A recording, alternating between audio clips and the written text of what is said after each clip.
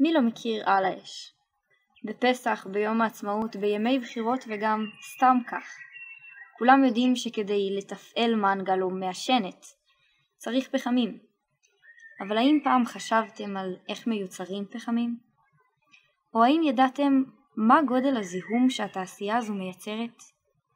כמה גזים מזהמים נפלטים לאוויר שאנחנו נושמים ומסכנים את כולנו, כל יום?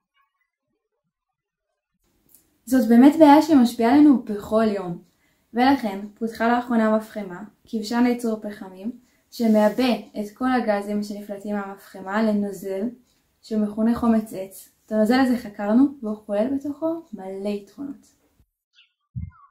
במחקר שלנו בדקנו את מרכיבי התמיסה וגילינו מה היא מכילה. ראינו שיש בה חומרים מדשנים ותכונות קוטלות חיידקים, כלומר, התמיסה יכולה להוות תחליף טבעי לדשנים הכימיים שנמצאים בשימוש כיום, וגם לחומרי הדברה מסוימים, בגלל חומצות וקהלים שהיא מכילה. שניים במכה אחת.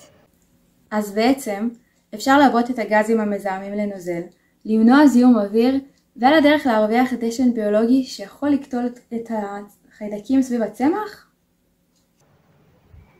כן, כך נוכל גם להפחית את זיהום האוויר וגם לחזק את ענף החקלאות.